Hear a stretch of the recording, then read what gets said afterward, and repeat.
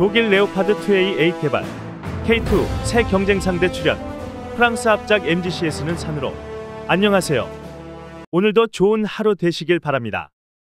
독일이 우크라이나에 제공한 레오파드 2의 소유분으로 레오파드 2A8 18대만을 주문하고 이어서 대량 발주하여 수백 대 규모를 확보하려 한다는 소식입니다.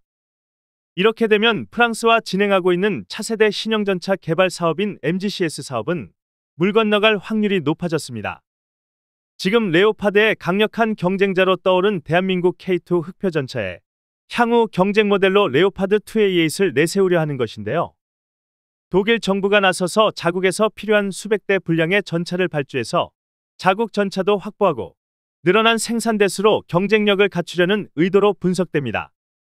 그러나 완전한 새로운 모델도 아닌 기존 모델을 업그레이드하는 수준이므로 오히려 K2에 더 유리한 상황이 될 것입니다.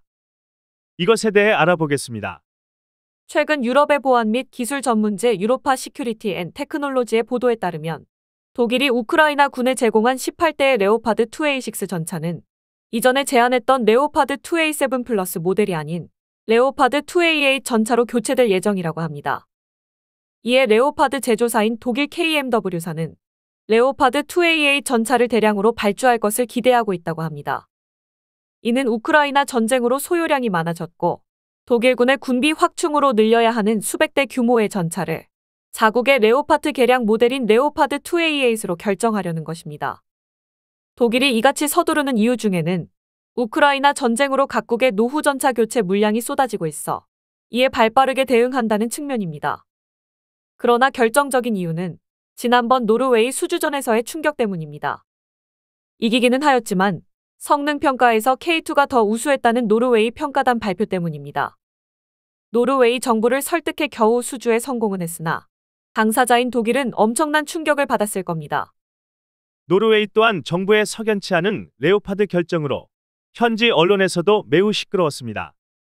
세계 19개국에서 수천 대가 사용되고 있는 독일의 자존심 레오파드 전차가 실질적인 성능 평가에서 대한민국 K2 흑표에 졌다는 겁니다.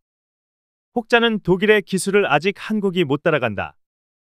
유럽의 평화 분위기로 재래식 전력을 신경 안 써서 나타난 결과지 K2가 우수한 게 아니다. 뭐 이런 평을 하시는 분이 계시는데요. 정확히 말씀드립니다.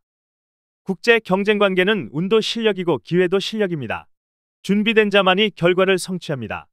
패자의 변명은 통하지 않는 게 현실입니다. 준비되지 않았고 제조 기반이 무너졌기 때문에 지는 겁니다. 그것이 팩트입니다. 이러니 당사자인 독일은 얼마나 충격받고 놀랐겠습니까? 옛말에 물 들어올 때 노저우라고 하였는데 지금 유럽의 나토 31개국 모두가 군비를 확대하고 노후된 장비의 교체를 서두르는 이 타이밍에 생각지도 않은 흑표라는 야수가 나타나 절대지존의 자리를 위협하니 얼마나 놀랐겠습니까?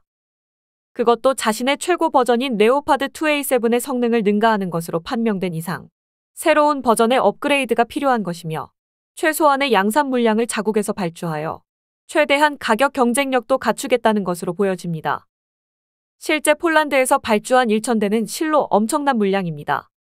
벌써 K2는 유럽 수주전에서 1000대를 깔고 가므로 K2와의 유럽 수주전에서 레오파드가 이기기는 쉽지 않은 상황이 되었습니다. 특히 폴란드를 시작으로 루마니아, 슬로바키아, 핀란드 등 다수의 국가가 K2에 관심을 갖고 있는 터라서 더욱더 이에 대한 대응책이 필요했을 겁니다. 새로 개발되는 레오파드 2A8은 헝가리가 2018년 44대를 주문한 레오파드 2A7 모델을 기반으로 개발될 예정이라 합니다. 지난번 노르웨이 수주 모델은 소폭 개량된 레오파드 2A7 플러스인데요. 몇 달 되지도 않아 새 모델로 변경한다는 것만 봐도 노르웨이 수주전 결과가 원인이 된 것으로 볼 수 있습니다. 레오파드 2A8은 더 발전된 버전의 전차로 첫 인도는 2025년경으로 예상됩니다. 하지만 순조롭게 일정이 지켜질지는 지켜봐야 하겠습니다. 그럼 레오파드 2A8에 알려진 개선 사항에 대해 말씀드리면 레오파드 2A8은 새로운 엔진과 파워팩이 탑재되며 능동 보호 시스템을 장착하고 새로운 장갑 패키지를 적용하여 방어력이 강화된다고 합니다. 또한 향상된 상황 인식 및 통신 시스템과 업그레이드된 사격 통제 시스템이 장착될 예정이라 합니다. 다른 정보에 따르면 레오파드 2A8은 3세대 복합 다층 장갑을 사용하여 첨단 보호 기능을 갖추게 되며 이 혁신적인 장갑에는 고강도 강철, 텅스텐, 플라스틱 필러 및 세라믹 부품이 포함되어 전차와 승무원을 보호하는 데 탁월한 성능을 제공한다고 합니다. 또한 K2 흑표 전차에도 도입된 이스라엘 라파엘사의 트로피 능동 보호 시스템도 통합하여 방어 능력을 더욱 강화할 예정이라고 합니다. 이를 위해 트로피 유럽이라는 공동 합작사를 설립 중이라는 말도 나오고 있습니다.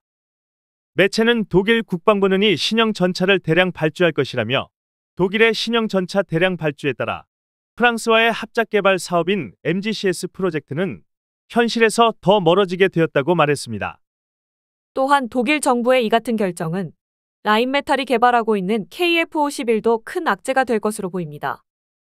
그러나 이번에 개발하겠다는 레오파드 2A8은 결국 태생이 레오파드 전차이며 아무리 업그레이드 시켜봐야 리모델링 수준을 벗어나기 어렵다고 생각됩니다. 신규로 개발하겠다는 성능 역시 K2의 가장 발전된 모델인 폴란드형 K2PL과 사막형 K2M이 모델에 적용되는 성능에 크게 다르지 않기 때문입니다. 독일의 입장에서는 경쟁 전차 K2의 유럽 진출을 막기 위해서 업그레이드 모델의 조기 출시를 서두르는 것이긴 하나 기술 개발과 함께 무너진 제조 기반을 다시 재건하는 데에도 많은 시간과 비용이 들 것이므로 쉽지 않은 싸움이 될 것입니다. 이러한 상황 덕분에 유럽 전차 시장에서 우리 K2 전차의 경쟁력은 한층 더 올라갈 것으로 기대되며 폴란드 외에 추가적인 수주 소식이 이어질 것으로 보입니다.